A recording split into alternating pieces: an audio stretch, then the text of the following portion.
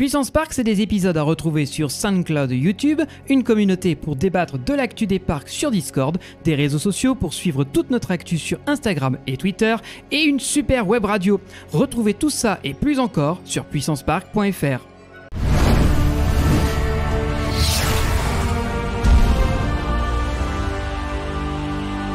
Et bonjour à tous, bienvenue pour ce nouvel épisode de Puissance Park et on va se retrouver aujourd'hui pour continuer et terminer la visite forestière et tout à fait agréable de Silver Dollar City aux États-Unis.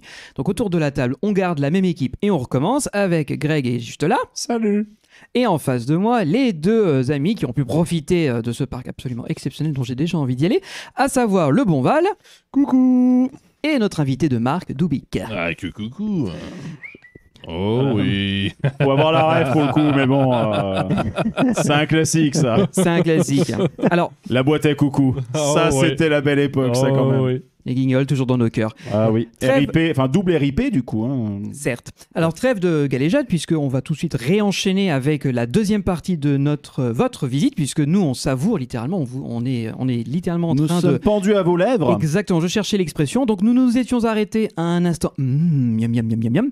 Et maintenant que vous avez bien miam miam aimé, c'est le moment de refaire du, du track, du coaster ou euh, autre chose. passer un peu écoute, tout ça. euh, écoute, on y fait un peu chaud. Euh, c'est le moment un peu de, de se rafraîchir. Oui. Et pour ce, et pour ce faire, nous avons une attraction dont euh, la première fois que j'ai lu le nom de cette attraction-là, c'était à bord de Krampus, pour te faire plaisir. Oh. Parce qu'elle figure en poster, en panneau euh, cloué dans la façade où euh, les bateaux reviennent en fin de parcours de Krampus. Et c'est euh, Mystic River Falls, euh, qui est un raft. Alors de chez qui d'ailleurs? Toi, tu t'as peut-être les stats. Alors, de chez. Voilà. Ok. Nos amis dans les commentaires Chip se feront. marque. voilà. Oui. Nos amis dans les commentaires se feront un plaisir de nous compléter. Euh, oui, mémoire je me sais fait plus, défaut. Je sais plus euh, qui l'a fait. D'ailleurs, euh, lançons un concours. Le premier commentaire qui trouve le fabricant de ce raft gagne rien. Voilà, comme ça. Toute notre estime. Non, ça, n'a pas encore assez de euh, temps sur, euh, sur les différentes plateformes pour pouvoir commencer Ce à faire des gros cadeaux. sympathique donc, euh, quand même de, de- de- de citer en fait le constructeur parce que c'est vraiment une attraction qui est d'excellente facture, euh, qui propose en fait euh, ouais deux attractions en, en une. euh, Mais qui propose deux attractions, puisque euh, il, il me semble qu'ils ont euh, conservé le... toute la descente du raft d'origine, puisqu'il y avait euh, à la base un raft qui s'appelait Lost, of, Lost River of the Ozarks. Voilà, qui était un raft conçu par euh, Bar Engineering. Voilà, c'est la première fois que j'entendais le nom de ce constructeur, c'est pour ce raft-là, qui avait euh, qui avait ouvert en 85 et qui a, qui a fermé pour laisser place donc à, à euh, Mystic River Falls en euh, 2018. Donc il y avait initialement cette première descente euh, classique de raft euh, dans son canal. euh, C'est-à-dire qu'on est vraiment dans des rapides, euh, voilà, un peu euh, typiques euh, des rafts. hein, euh, vraiment petite promenade. C'est dans une zone qui est assez compacte, euh, mais qui au final nous propose quand même de se prendre alors des petits jets venant euh, justement de, de petits décors, c'est-à-dire tu sais euh, un peu le château d'eau euh, avec l'éolienne ou les trucs comme ça, avec des petites chutes euh, qui nous tombent sur le coin de la Également gueule. appelé les prétextes à foutre un jet d'eau. oui. Voilà, euh, voilà. prétexte à foutre un jet d'eau. Alors, Très belle cascade un petit peu Ah oui. partout et surtout des mini chutes qui nous permettent en fait de rajouter des dizaines de centimètres de flotte dans notre embarcation au niveau ça, des jambes. puis, euh, et puis de, la, de la dynamique euh, dans le parcours, parce que c'est vrai que ça permet d'avoir- des accélérations, des, des ruptures de, de- de rythme. euh, c'est déjà c'est super bien intégré, et ensuite c'est hyper vivant parce qu'effectivement, étant donné que le parcours est assez compact. Bah, toutes les bouées se croisent. Quand t'as une bouée qui arrive d'un virage, bah, toi t'arrives dans un autre. Et puis euh, eux, ils vont se prendre une vague, tu vas t'en prendre une autre. Donc tout le monde se regarde en rigolant. C'est hyper vivant, quoi. Attends une seconde, euh, le lift que je viens de voir là, c'est un ascenseur surtout rotatif qu'ils ont fait? Alors oui, alors ça c'est très très intelligent de leur part parce que on Première fois que je a, vois ça pour le coup. on a pour la deuxième partie du parcours qui du coup est euh, la vraie nouveauté, on, on va dire, de cette attraction là. on est sur un lift, euh, voilà, une colonne verticale qui en fait dispose de quatre ascenseurs sur, ch- enfin chacun de ses côtés dispose d'un ascenseur, ce qui en fait quatre au total. Et on est dans une espèce d'entonnoir quand on vient de notre euh, petit parcours, on va dire relativement classique. Euh, on est amené par un tapis sur une de ces plateformes, une grosse barre qui entoure la bouée s'abaisse autour de nous, et euh, la tour nous fait monter sur un de ses flancs tout en euh, subissant des rotations de 90 degrés systématiquement, parce qu'elle embarque un autre bateau pendant que nous on monte, tandis qu'en haut il y a un bateau qui est déchargé et qui descend dans le toboggan final. Donc c'est-à-dire que voilà, Tu parallélises à mort, quoi, en fait. Ouais, C'est ça, tu optimises génial. chaque mouvement justement de cette tourelle. Euh, et en fait, sur la petite vidéo que vous pouvez voir là en illustré, à un moment, vous allez voir que je l'ai mis en accéléré pour que ce soit plus euh, lisible. Euh, on peut constater que, euh, ben voilà, c'est chaque mouvement est calculé. Et pendant que euh, pendant qu'il y a tout ça, ben, la quatrième face de cette colonne ben, fait descendre la plateforme pour réceptionner un des bateaux qui est en stand-by en bas. Avec ton accéléré, j'ai cru que c'était une, fold, une, une Ouais, free non, fall. Et on arrive dans la partie finale qui est un grand toboggan euh, qui subit, on va dire, une, un- un- quasiment un tour complet pour avoir une pente qui est relativement raide pour Oui. ce genre de raft. Euh, qui est très très longue. Franchement, la descente, euh, en gros, c'est com- haut. Hein. comme on est, on est, on sort d'un virage, la bouée est en pleine rotation et un peu comme euh, la plupart des attractions aquatiques, euh, que ce soit Universal ou Disney, c'est la rotation qui va déterminer qui va se prendre la vague. Mais en fait, là, le problème, c'est que la vague arrose tout le bateau. voilà, c'est que tout le monde est perdant.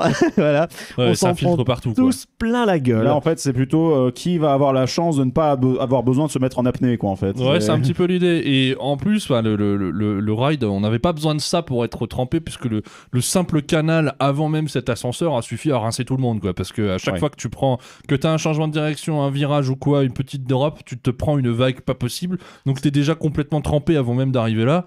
Donc là, si tu avais un, picomètre carré de sec, euh, ça, euh, ça, ça, Ça, ça ne durera ça- pas. ça- permet de. Intolérable. ça permet Voilà. de sortir Puis, il y, a- en il y a une quoi. sacrée vitesse. En plus, euh, il y, a, il y, a, il y a comme des rails sur lesquels glisse la bouée. Bon, là, comme elle est vide euh, sur l'illustré, on a, il n'y a pas eu de grosses vagues. Mais quand il y a du poids, et je peux te dire qu'aux États-Unis, nous, Oui, on était avec une poids. famille, ils étaient bien, bien généreux Oui, euh, il en mangeait chair. beaucoup de poêlés de- d'à côté. Là. Ouais, je pense Ouais. euh, ils ont la carte fidélité euh, Ouais, euh, du parc. Poiler plus. C'est ça. plus. Voilà, ils ont le buffet à volonté, euh, tout ce que tu veux. Bref, euh, ils étaient très sympathiques au demeurant. Très sympa. Euh, on a bien rigolé avec eux. Et en fait, c'est ça, tu, tu es obligé de- d'apprécier les gens autour de toi parce que tu rigoles avec eux, on se moque de ceux qui se prend la vague, mais au final, après, tout le monde est trempé. Donc, euh, c'est ça qui est bon. Et on, et est tous dans notre pédiluve euh, qui sert de, de raft. Raft donc qui a été construit par la société Ride Engineers Switzerland. Voilà, j'ai j'ai cherché. oh, c'est euh, suisse. Ah, d'accord. Donc C'est c'est ceux qui font les, euh, notamment le nid du marsupilami au parc Spirou. Ah, Ah.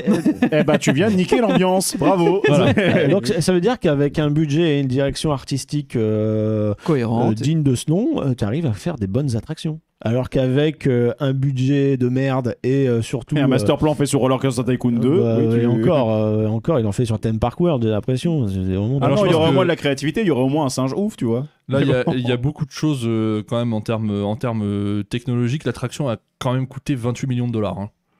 Oui, ça Pour- se sent. pour un hein. raft, c'est quand même très très Et cher. sans compter Oui. qu'il récupérait des éléments existants en plus. En plus. En plus, donc euh, ouais. Mais là, il y a vraiment une optimisation en fait dans le raid system, surtout cette tourelle, euh, ce toboggan final euh, qui envoie du pâté. Et, euh, le... et, et c'est simple, elle a beaucoup de succès. Elle a énormément de succès. C'est considéré comme un des meilleurs rafts du monde. Bah, la preuve, si c'est cité par le Krampus, Ouais, c'est que ça inspire dessus. pas mal. Et, et puis bah voilà, visuellement, ça anime tout un coin du parc, quoi. Tout un coin du parc dans son quartier euh, euh, vite fait inspiré euh, New Orleans, si tu veux. Euh, bah, D'ailleurs, Mystic River, évidemment, c'est c'est quoi? C'est le Mississippi euh? Oui, c'est ça exactement. C'est la Nouvelle-Orléans, Bâton Mhm. Rouge, euh, c'est tout ce coin-là en fait. Donc le land, le land euh, est, est très mignon. On a aussi un petit peu plus bas, euh, si jamais vous regardez la carte de Silver euh, Dollar City, euh, euh, on a aussi un Battle Splash, euh, bon relativement standard mais très bien Il est décoré. super joli. Il ouais. est super joli, pareil avec des cuves de flotte. euh, Esprit, euh, en fait, steampunk dans le sens où en gros c'est des, des pièces de, de machinerie à, à l'ancienne, quoi. Tu sais, des grosses cuves en cuivre partout. C'est toujours très très très beau à voir. C'est ce truc industriel, enfin début industriel avec euh, la, la ruée vers l'or, les premières machines à vapeur euh, qui marchaient au charbon. Donc les, les trucs de Ouais, l'époque. c'est ça, ouais, c'était thème un peu vapeur, ouais, maintenant que tu le dis. River Blast, ça s'appelle. Euh, Il y a aussi un Dark Ride qu'on a f- qu'on n'a pas fait, on n'a pas eu le temps de le Ouais. faire, qui s'appelle Flooded Mine, en gros la mine inondée. Et La euh, musique de Flooded Mine est sur Radio Puissance Park. elle y est. Ah, ça je savais pas. Et euh, moi aussi, t'entends des mineurs chanter, euh, voilà, en rythme au son des pioches. Ah, je crois que c'était Knott's Farm, pardon. Et non. C'est même. Et, euh, euh, je sais pas si c'est un Flume ou Dark Ride euh, ou les deux. Bah, en fait, c'est euh, ouais, c'est un, c'est un boat ride euh, avec des pistolets, quoi. Donc euh, vous êtes dans votre petit- Interactif du coup. Ouais, vous êtes dans votre petit sympa. bateau C'est euh, pas et puis il y a commun, un, ça. un parcours de Dark Ride où il y a des cibles. euh, voilà, c'est- alors on l'a pas fait, on sait pas ce que ça vaut. Bah, il y a des on-ride qui sont sur YouTube, c'est très bien aimé. Après, euh, bon, bah voilà, ça reste euh, un Dark Ride euh, euh, interactif. Euh, Donc, euh, nous, pour le coup, c'était pas notre priorité. Et en fait, on l'a complètement zappé. complètement Parce que comme elle est au centre du parc, c'est-à-dire là où il y a vraiment énormément de d'allées, de, de, maisons, de maisonnettes, les artisans, tout Et ça. surtout aucun coaster. Bah voilà, c'est ça. Nous, on est resté en périphérie. Et d'ailleurs, euh, la prochaine étape, euh, c'est euh, les zones, euh, on va dire, euh, destinées aux enfants, aux familles. Euh, et même si euh, du coup le public, euh, c'est pas un public nécessairement exigeant, hein, les enfants, eh ben Silver Dollar City, on ne déroge pas à la règle, on fait dans le bon goût. Euh, Il y a toute une zone d'ailleurs qui en gros s'appelle Fireman's Landing, donc euh, bah, le, la jetée en fait des pompiers, euh, voilà, juste à côté de Mystic River Falls. Donc là vous avez en illustré le concept art qui est magnifique, hein, qui est digne de certains concept art Disney. Sauf que malheureusement à Disney par exemple pour un certain Flight Force, là où on avait Attends. un super Voilà, tu- ah merde il fait tout Flight- noir non Parle de Fly Force, vas-y. Flight Force où on devait avoir, tu sais, le, le gros arc réacteur vintage à l'ancienne. au final, c'est c'est retrouvé sur un mètre carré sur un mur, une petite merdouille. Et euh, évidemment, euh, pas de scène grandiose. Et ben ici, si on compare avec la réalité, les bâtiments sont exactement les mêmes. Il y a de la déco partout. Les employés, ils sont déguisés en pompiers de l'époque. Avec, tu sais, le gros casque à, à l'américaine. Là, on a vraiment une drop tower euh, familiale, mais vraiment toute petite. Euh, bon, on l'a pas fait. hein, Oui, une petite. SNS, ouais. Voilà, et dans la caserne de pompiers, en fait, tu as euh, euh, les zones un peu, tu sais, enfantines avec euh, les boules, les parcours à Des, gros des- des- ouais, branches. des canons à boule à mousse. Des euh, canons à boule à mousse. Ouais. Ouais, c'est vrai qu'on en a testé, on a shooté deux trois gosses avec, et puis Ouais, après on c'était est parti. assez plaisant, ça d'ailleurs. Ouais, Ouais. ça nous a détendu. Et tu as aussi, euh, bah en fait, et tu as qui beaucoup. te sort ça comme ça ce qui est trop bien, a pas ce qui est trop trop bien, c'est que tu as pas mal d'attractions familiales, Zamperla, comme on peut en trouver à Frépertuis City, tu vois. Mais tu as énormément de bancs, de zones un peu ombragées où les parents, en fait, se disent Ah, c'est bon, le gamin, il fait sa life, moi, je me repose. Et tu as des petites euh, décorations, tu as des, euh, des bouches à incendie ou des, euh, des, des boutons, en fait, d'alarme pour appeler les pompiers, comme tu avais dans certaines villes à l'époque. Et en fait, dans ces décors, on va dire, traditionnels, ben, tu soulevais des petites trappes et tu avais des chargeurs USB planqués. Enfin voilà, tout était optimisé pour que les parents se, prennent leur pause, rechargent leur téléphone. Tu avais un coin fumeur un peu planqué les bois. Voilà, c'est vraiment optimisé pour que chacun y trouve son compte dans cette zone du parc. Il y en a une autre un petit peu plus loin, euh, justement, qui est plus euh, du coup sur euh, le thème grande exposition. Mais malheureusement, voilà, on n'a pas d'illustration. Mais en gros, tu as un petit coaster, on a un disco, la version short, qui est exactement la même théma qu'à, qu'au parc du Bocas. Ah, c'est l'électro Oh, machin. d'accord. Parce que comme du coup on est dans une zone qui fait un peu exposition universelle euh, 1800, enfin fin 1800, tu vois, euh, bah, on a un petit coaster, on a tu sais, les polices typiques, on a le plan vraiment comme si c'était euh, une grande exposition euh, universelle avec euh, un bateau pirate pour faire un peu exotique, Ouais, avec les, les petits les- éléphants euh, Zamperla, euh, voilà. les Flying Elephant. Euh, les, euh, les, les chaises volantes, euh, du coup ce disco, la miniature qui est un peu en mode électricité. euh, ouais. Donc c'est c'est fait avec goût vraiment. Ce, qui est, ce qui est fou, c'est de se dire que bah, pour une zone qui dit, c'est vraiment pas laissé pour compte. Et euh, là où un parc euh, pourrait se dire, bon, de toute façon, c'est pour les enfants, il n'y a pas besoin d'en mettre euh, des tonnes, on mettra ça plutôt sur les grosses attractions. bah là, tout est chiadé, quoi. Tout est chiadé de la simple devanture, de l'enseigne d'entrée de le l'attraction. moindre panneau. Tout est intégré, tout est. enfin, c'est super mignon. Et comme et on c'est- Mais est. c'est comme quand on, on dit pour les, les films pour enfants, il n'y a pas besoin de se prendre la tête, c'est des gosses. Au contraire, il faut redoubler d'é- d'énergie parce que c'est là que les enfants vont se faire leur, euh, leur opinion, leur, le- créer leur imaginaire, vont avoir leur esprit critique. Donc si on fait des zones ça qui sont crée à une- chier, Ça crée une forme d'exigence, hein, oui, d'excellence aussi pour plus tard. donc si, on, si on leur donne une zone, je te laisse la parole juste après, si on leur donne une zone qui est éclatée au sol dès le départ, Forcément, ils vont s'amuser parce qu'ils sont pas exigeants. Sauf que derrière, ils vont vraiment sentir lorsqu'ils iront à un Silver Dollar City par exemple et que la zone va être euh, agréablement construite, aimée, boisée, avec des attractions euh, qui ont un, un univers commun. C'est peut-être pas quelque chose qui est visible au départ, mais à terme, dans l'esprit des enfants, c'est quelque chose qui va revenir. Il va se dire, ah ouais, je me rappelle cette zone-là, elle était belle, j'ai des bons souvenirs. Mine de rien, quand tu après, bah, tu as des, des adultes qui euh, deviennent des créatifs, qui veulent travailler dans les milieux un peu artistiques. Bah, ça, c'est les, éléments, c'est les, les premières bases, hein. Bah, c'est les, les premières briques. Tu les stimules, mais ensuite, derrière, si tu... pour convaincre les gamins, il faut aussi convaincre les parents. Et les parents qui voient effectivement une zone t'aimer comme ça, qui peut être intéressante, qui les, qui les intègrent aussi dans le truc. Qui va pas juste les laisser sur des. enfin, Il y a eu, vous avez vu l'explosion des parcs, euh, des parcs enfants urbains. Vous savez, les, euh, les Jimbaloo Park, les euh, Les Tefou Park, Park, savez, ouais. tout Ouais. petits trucs où en fin de compte, l'idée de trampoline. voilà, l'idée n'est pas mauvaise. Le problème, c'est que finalement, c'est- c'est pas... les parents sont pas intégrés dedans parce que t'as toujours genre la buvette, le truc, vas-y, Ouais. là tu consommes, tes Et- parents ils sont. Là, l'avantage, c'est ce côté industriel aussi euh, dans un bâtiment en tôle, euh, voilà, rien d'exceptionnel. Voilà, c'est effectivement, si on peut s'inspirer des, Walt Disney Studios, merci de ne pas vous inspirer de la tôle ondulée, quoi. mais, euh, mais par contre, là, effectivement, si tu as effectivement ce- cette théma qui est présente, déjà, tu peux toucher plus facilement les parents qui, quand l'enfant n'est pas encore en âge de faire chier, pardon, d'influencer leurs parents, euh, le- il va, pou- on va pouvoir l'amener là-dedans et les parents vont avoir la possibilité de, de lui faire découvrir le truc et de se sentir aussi bien en se disant l'environnement est sain pour mon enfant, quoi. Et- Donc, c'est pas con. Et tu as pas con du en, tout de faire en ça. plus de tout ça, tu as l'architecture, alors que ce soit dans le coin pompier ou dans le coin grande exposition, l'architecture est toujours en, en cohérence avec euh, son thème. Donc tu avais les, les lampadaires étaient éclairés, tu sais vraiment la, la peinture rouge pompier, tandis que dans l'autre tu avais un peu ce côté euh, euh, Art Nouveau, euh, dans inspiration Art Nouveau, tu vois, les Américains étaient fascinés par Paris, et du coup ils ramenaient un peu le côté grande halle, couleur un petit peu vert, etc. Ben, en fait tu as ça aussi à l'entrée de chaque attraction, les lampadaires, les bancs, tout est réfléchi.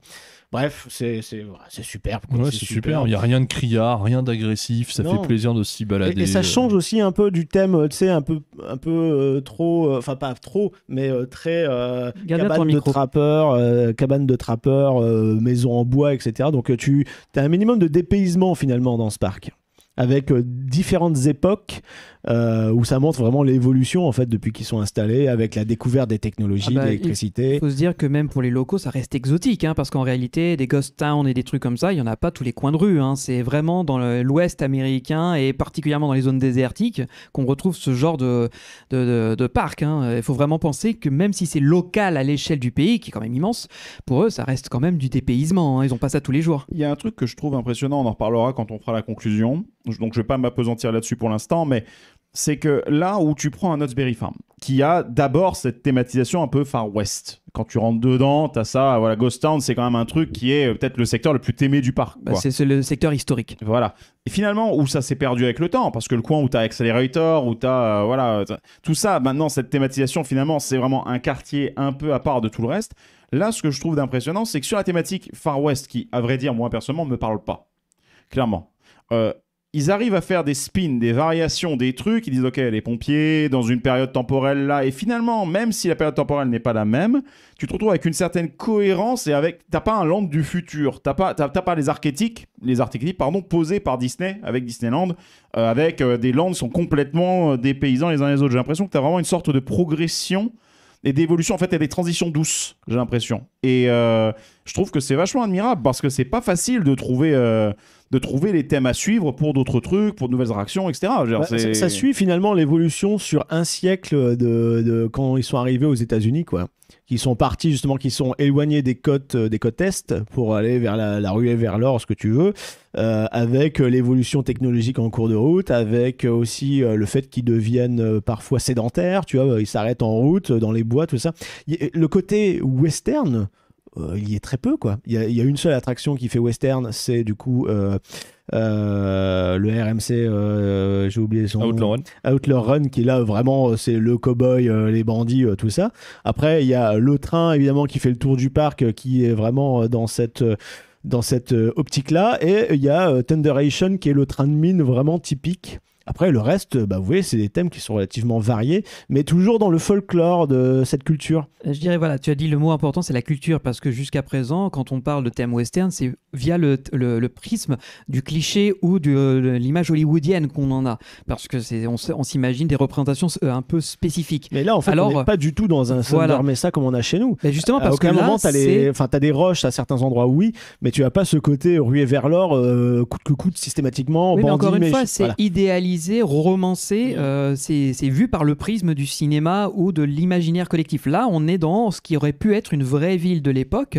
avec les, les aléas qu'ils ont peut-être vécus, avec l'héritage culturel qu'ils nous ont laissé, et surtout les euh, petites spécificités que si tu ne prends pas le temps de vraiment les approfondir, bah, tu vas rester en surface à, chercher la, le, le- le- la prison avec le, le bureau du shérif, à chercher le saloon et euh, basta en fait. Et là, j'ai l'impression qu'ils ont vraiment poussé la réflexion en disant bah voilà, là il y a une zone qui, euh, qui euh, euh, présente une ville un peu différente. Là, il y a une autre vision un peu différente aussi de l'Ouest américain.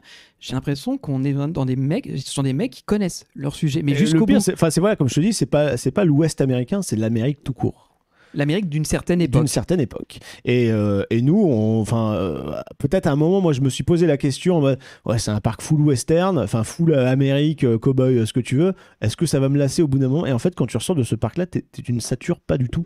Tu ne satures pas du Bah tout non, cette parce ambiance. c'est pris par tellement de prismes différents que finalement t'as pas l'impression de faire 100 fois la même chose, que les, les thématiques sont jamais les mêmes. euh, puis ça va, euh, à chaque fois, ça va chercher d'autres choses. Je- on va parler de time traveler après. Là, ça, ça parle encore de, de, de voyage temporel. Donc c'est euh, quand tu quand tu parles de voyage temporel dans un, dans un milieu de western, c'est pas, pas le premier truc que ça t'évoque, quoi. Et c'est plutôt original d'aller chercher ça plutôt que euh, effectivement la mine, euh, plutôt que euh, les, les Indiens, les cowboys, euh, Silver Dollar City, c'est c'est pas du tout tout ça quoi. Bah oui, c'est ça, c'est que le dans la catégorie du brainstorming, tu as toujours les options cheap qui viennent, effectivement, tu l'as dit, mine, euh, shérif, cowboy, western, indien, caval- ca- cavalerie, La, Syrie. euh, voilà, la Pas Syrie. la Syrie, pas le pays, le- la Ouais, Syrie où on coupe le la, bois. la Syrie, euh, voilà, euh, à découper, pas, euh, voilà. Les Bah, ça découpe aussi en euh, Syrie, mais bon, pas les. Non, non, non, non, Les trains de la mine, ouais. ne, ne rappelons pas. Voilà, merci. J'hésitais à faire cette vanne et je me suis dit non, mais merci Valentin d'avoir défoncé la porte. Toujours un plaisir. mais mais, euh, mais non, c'est surtout que là, effectivement, il y, a y plus de profondeur. Et en fait, c'est vrai que nous, un Frontierland reste basé sur des clichés. En fait, c'est euh, c'est- là où Discoveryland, c'est le futur tel que vu par les visionnaires. Frontierland, c'est les États-Unis, enfin l'Amérique et la conquête de l'Ouest vue par les, beaux- les, euh, les, Le les étrangers. ouais. Voilà, les étrangers en fait, c'est les clichés là. Les Là on western sent, spaghetti. là on sent qu'ils sont, bien sûr, bah oui, ils connaissent leur propre, euh, leur propre truc, et on sent que les, il y a des clichés bien entendu, mais ils vont plus dans des choses qui vont te surprendre. Et je trouve ça intéressant parce qu'effectivement, comme tu le disais, moi c'est pas des thématiques qui m'intéressent. Moi, tu me donnes le choix entre Silver Dollar City, pardon, et puis euh, je sais pas euh, un, un Disney euh, là-bas ou quoi que ce soit. Alors que Disney, je connais les défauts, etc. J'aurais tendance à le privilégier. Alors que là, effectivement, au niveau de la richesse, en plus, j'ai un peu peur sur ce genre de, de parc d'avoir des tas de machines sur lesquelles je pourrais pas monter. En fait, non, au contraire, t'as énormément de choses à Bah, faire. Il y a et des voir. trucs, il y a des trucs que certes je peux pas tout faire, mais il y a des, il y a des choses qui m'ont l'air déjà vachement intéressantes quoi. Même les flous, ils m'intéressent. Pourtant c'est voilà, c'est du flou. hein. Donc Ouais. euh, bon, Mais quand va- tu fais 40 degrés, ça aide. oui oui avec- avec 40 degrés et puis là tu, tu prévois euh, vu la vu, vu- ce que tu cavales dans le parc, tu là, tu prends rien avec toi quoi. Donc euh, bon, avançons. Ouais, euh, C'était la petite digression. voilà. On continue. Donc, euh, nous, ce qu'on n'a pas fait, bah, c'est le train qui fait le tour du parc. Apparemment, c'est un tour qui dure Oui, 30 ça minutes. dure une plombe, ouais, c'est une demi-heure. Le, le- le trajet s'arrête au milieu pour, euh, pour laisser place à un show d'une quinzaine de minutes euh, qui apparemment est vraiment pas intéressant. Euh, donc c'est c'est plus une perte de temps qu'autre chose. Ce qui est intéressant avec ce train, c'est euh, bah, c'est la dimension du train parce que c'est une vraie locomotive, euh, des, des vraies voitures. euh, c'est un truc, euh, c'est un vrai train qui fonctionne au charbon. C'est pas du tout euh, COP 21. Et on, entend, on, on entend bien le siffler d'ailleurs. Ouais, euh, dans, toute la, dans toute la vallée.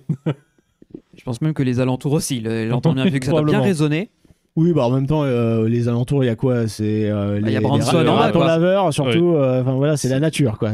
Branson est quand même euh, un peu, ex- enfin c'est un peu excentré de Branson. hein, c'est vraiment un peu éloigné. Hein. Tu, pas à côté. tu vois hein. pas la ville en fait depuis euh, les attractions? Peut-être aussi, peut-être euh, sur le B&M euh, de l'entrée du parc euh, Wildfire. Mais, mais là, on va enchaîner du coup avec euh, une attraction qui est un peu dans le délire euh, steampunk, parce que Whitefire, c'était un peu le cas, justement, avec l'inventeur euh, qui fait de la nitroglycérine, tout ça. Là, on part dans le délire voyage temporel avec Time Traveler, qui est pour moi le coup de cœur du parc. C'est et une fois de plus, c'est je souligne le courage en fait de la stratégie du parc et des dirigeants parce que c'est un prototype. C'est-à-dire qu'avant euh, Ride to Happiness, il y avait Time Traveler. Le design des trains a été fait pour Silver Dollar City. Euh, on retrouve le même finalement à Plopsaland, mais Ah, une euh, petite variation voilà, près à l'avant des carlingues, mais voilà, il y a juste, il manque un élément de décor qu'on retrouve ici, que vous allez pouvoir ben, voir en, en vidéo. On a une gare qui est, qui est, qui est- qui est folle. Alors, c'est dans un bâtiment qui fait assez basique, tu sais, un- on est chez un scientifique. Par contre, l'intérieur, T'as des, t'as des horloges partout, t'as des plans, tu sais, des dessins des véhicules. Et en gros, on va faire un bond temporel. Alors, où, quand, on sait pas, mais euh, voilà, ça fait, euh, ça fait ce petit bond temporel. euh, et du fait que, bah, avec tous les engrenages, le, le train qui spin sur lui-même, et le fait qu'il y ait des launches. Enfin, voilà, il y a un petit côté retour vers le futur, une fois de plus Ah ouais. que moi euh, qui me touche euh, particulièrement bien et le délire steampunk avec vraiment le scientifique et sa fille qui bossent tous les deux d'ailleurs euh, qui s'appelle le nom de famille c'est Charles non c'est je crois que son prénom c'est Charles donc euh, petite euh, pensée pour toi euh, Benji Non, mais l'attraction m'est destinée en fait. voilà non mais t'aurais, t'aurais- Oui, adoré t'aurais adoré donc et Puis puis regarde-moi ce l'entrée porte-entrée, quoi. Euh, l'en- l'entrée, est magnifique. L'entrée est magnifique, t'as vraiment le bruit du tic-tac euh, de l'horloge et en fait dans toute la, le loop audio qui en fait est des musiques pop des années euh, 60, 70, 80 qui sont en mode bluegrass, c'est-à-dire un peu country à la cool, mais vraiment très apaisant. Euh, tu sais, t'as Time de Pink Floyd, tu as euh, Time After Time euh, de Cindy Lauper. Voilà, ça va un peu dans, ça récupère un peu des chansons euh, des époques qui parlent un peu de la temporalité aussi. Donc, et tu as des bruits de tic-tac partout dans la file d'attente et dans la gare. Des tic-tac, pour les engrenages. D'où on en- disait qu'ils avaient un petit délire pour les horloges. Voilà, bah, voilà. Ouais, voilà. Et là, tu peux voir dans la gare les engrenages À ce qui niveau-là, c'est du fétichisme, les mecs. Tu, hein, vois, les- signaler, hein. tu vois ce qu'on appelle les circuits temporels, là, voilà, comme sur la DeLorean avec Bah, les dates qui défilent. C'est la référence. Ça, c'est une référence à la machine à voyager dans le temps de H.G. ouais, Wells. ouais, hein. bah, évidemment, C'est totalement le, design, le du- design. Du, personnage, euh, de sa fille, euh, voilà, c'est un peu dans, dans ce délire-là. Et euh, tu as le, le départ du train qui est incroyable, Ouais, qui se ah, fait avec qui- un qui- gros qui est son de vraiment cloche. mis en scène en plus. Ouais. quoi. C'est c'est très impressionnant de voir ce train Bah, partir et, et s'engouffrer Et dans pareil, le le vide. train, il est chargé en fait par les engrenages, les engrenages qui tournent. Ouais. Tu as des espèces de grosses lumières au centre et qui, euh, qui flashent et qui font vraiment une, un bruit, assez, une, une vibration, comme s'ils étaient en train de charger les trains. Et ensuite, on lâche les trains au son de cloche. Et en gros, c'est là qu'ils font leur bond temporel dans les inversions, dans les catapultages, euh, etc. C'est. Et moi, je, suis, euh, comment dire, j'ai fait l'attraction, on a fait la file d'attente et j'ai enchaîné avec Emmerich, on est monté tout de suite euh, à l'arrière du train et j'ai eu vraiment euh, l'expérience de A à Z. J'ai eu le tour parfait, c'est-à-dire que j'ai eu les rotations qui ont mis en avant, tu sais, euh, le bout de rail qui passe à côté de toi. Enfin, t'es vraiment dans l'enchevêtrement de rails. Euh, toutes les sensations étaient vraiment euh, planantes. Bah, c'est- Il n'y a pas ce côté tr- trop intense de RTH, Mhm. mais euh, cela dit, ça reste intense quand même parce que tu te bouffes justement la first drop en sortie de gare qui est quasiment verticale, qui fait combien de mètres à peu près? 27 mètres 27 à mètres 90 euh, degrés, donc dans les gencives. quoi. Donc euh, voilà. Et Et ils euh, ont mis des freins en, en début de drop euh, pour sortir de la gare. J'ai vu, il y a des. oui, a c'est des- un peu ralenti. Oui, c'est Ah un oui. peu ralenti. Mais après, euh, il y, a- Tu il y hein. il y a deux de un mec qui met le pied, qui fait pas gaffe. Allez hop, ça part. Même ralenti, quand tu te retrouves à l'arrière du train, Ah, quand ça sort, tu happé. te décolles bien. hein. Oui, tu vraiment Tu ouais. sens happé que par la tu- machine. Tu, vas à un endroit où ton corps devrait pas aller. Quoi. Et t'es éjecté euh, littéralement. Et en plus, tu sais, tu as les fameuses plaques métalliques qui forcent le- la rotation, qui spin ton véhicule. Ce qui fait que dans la first drop, t'es en rotation. Pareil, tu comprends rien de ce qui se passe. C'est magique. Tout l'intérêt de ce, genre d'attraction, euh, c'est souvent pour les spinning, hein, c'est que chaque tour est différent. Et là, ça prend vraiment tout son sens parce que Time Traveler, c'est euh, pas du tout comme RTH où RTH c'est très intense et euh, tout s'enchaîne très rapidement. Time Traveler, c'est beaucoup plus aérien et t'as as davantage de temps pour profiter de chacun de ces éléments, quoi. Et ça, c'est très très agréable aussi. Euh, là, par exemple, cette, cette première drop, vu qu'elle est prise lentement comme ça, étant donné que les, les- les voitures commencent à tourner, les nacelles commencent à pivoter déjà Donc- en sortie de gare, Donc pour ceux peux- qui nous écoute en audio, c'est-à-dire la descente une fois que tu as quitté la gare. la descente, Ouais, ça oui, parce que tout de on suite par une drop. le lift la, là. la gare en fait est- la gare est en fait est surélevée et donc euh, la première descente se fait à 27 mètres au-dessus du, du plancher des vaches et euh, enfin même plus que ça puisque la drop en elle-même fait 27 mètres Et, euh, et donc à 90 degrés, donc c'est très très incliné. Et quand tu sors de gare, que tu as un véhicule donc derrière toi, et que au moment de la drop, tu te retournes face à ce véhicule et tu vois cette nacelle en train de te tomber dessus, c'est vraiment En train de tourner, les gens impressionnant. dedans, tu vois. Ouais. ah oui, parce que tu te dis, je vais vraiment me la manger. Alors qu'évidemment, c'est un seul et même train. Mais tu as cette sensation-là que tu vas te manger une nacelle sur le coin de la figure. quoi. Et ça, ça ajoute vraiment à la sensation. Et euh, ensuite, le parcours en lui-même, donc beaucoup plus aérien, beaucoup, plus, euh, beaucoup moins intense que, que RTH. En soi, je, je préfère, euh, je préfère euh, Time Traveler.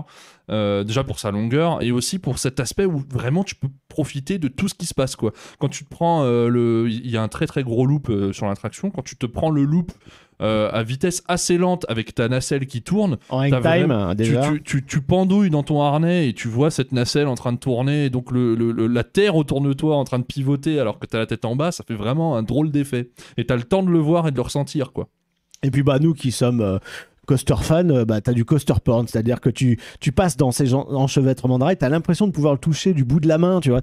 C'est, il est juste là et, Ouais. et en plus non seulement tu as la first drop, mais derrière tu as deux séquences launchées. Donc là on le voit pas sur l'on ride, mais voilà il y a le rail qui traversait qu'on a eu juste après la first drop, euh, qui est juste là dans le looping. Et puis après c'est enchaîne- enchaînement de virages au ras du sol, petite bosse euh, éjector, euh, tout ce que tu veux. Enfin c'est non, moi je suis sorti de là, j'ai vraiment eu la larme à l'œil, tu sais, du. Et c'est une attraction à laquelle je je, me- je, je m'attendais pas. Alors déjà c'est prototype euh, Mac Ride, euh, déjà chapeau. Coaster. Voilà, hein. c'est magnifique pour un premier concept.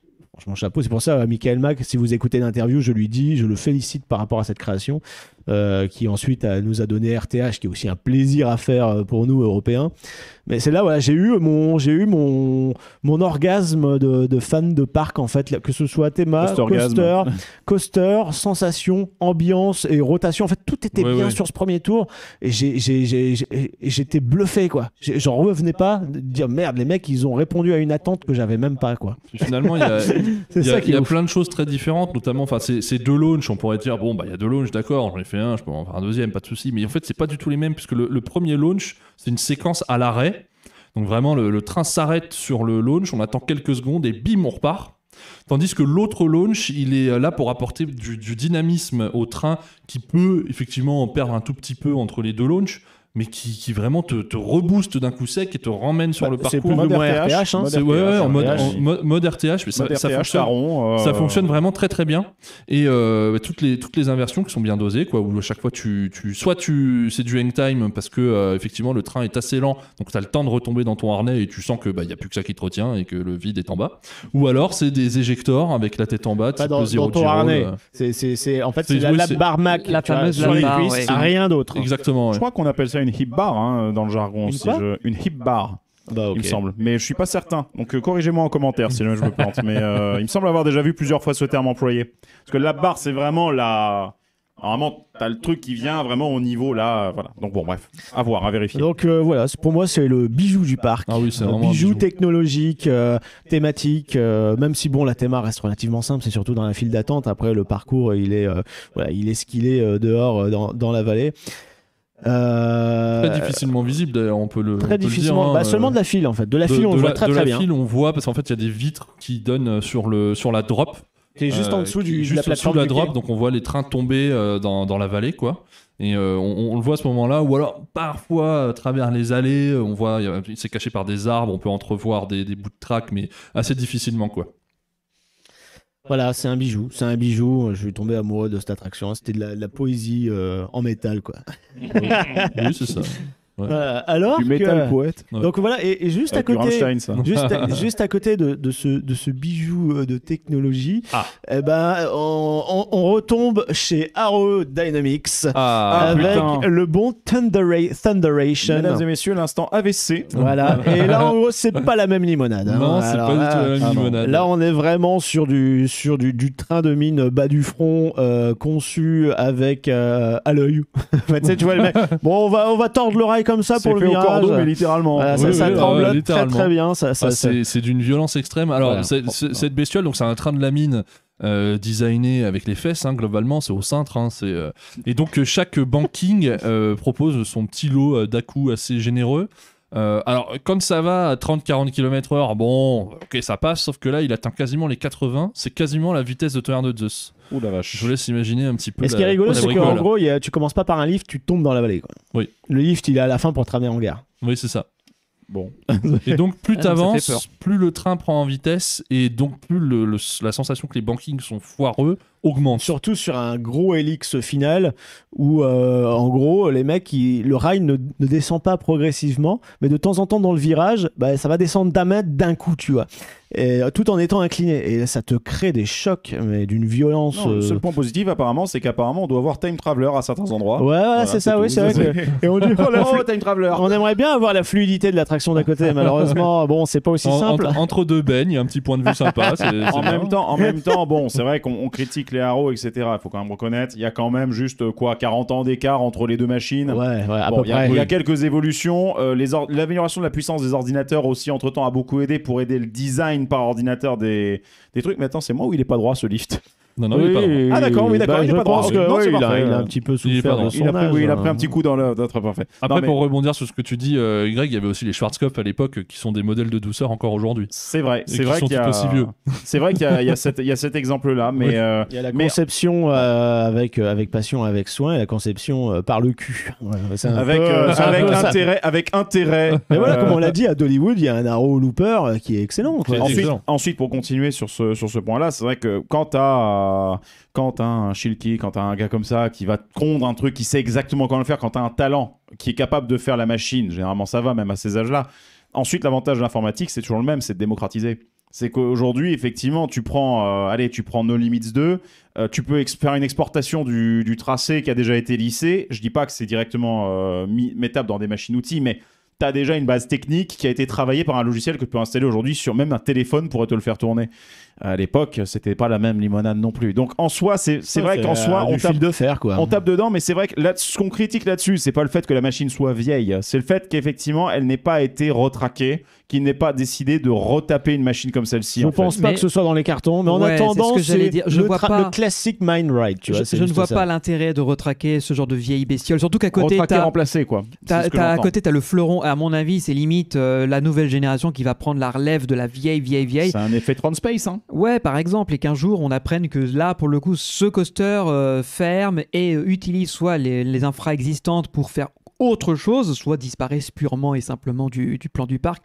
Pour moi, ça c'est littéralement euh, le reliquat qui un jour ou l'autre on va nous annoncer c'est terminé parce que l'autre Fire in the Hole qui annonce sa fermeture est quasiment de la même époque. Donc Alors, euh, justement, sachez que cette petite bestiole, euh, dont on a l'impression que c'est un dinosaure absolu, date de 1993, donc c'est pas si vieux que ça. ouais, il est Ah, largement il le 30 temps de le raser. Il a 30 ans. Il a 30 ans, il a 30 ans. Non mais c'est pas vieux 30 ans, c'est plus ça qui m'in- m'interroge. Ah, C'est qu'en 1993, je- il y avait déjà des B- ordinateurs. C'est l'âge de BTM, quoi. Voilà, un peu, et, sur peu de choses près. et BTM est un petit peu plus confortable. Ça dépend pour les oreilles. Alors les Euh. oreilles, c'est un problème qui peut être résolu, c'est un choix, mais je, je trouve que c'est plus confortable que de faire euh, ce truc-là. Bref. Effectivement.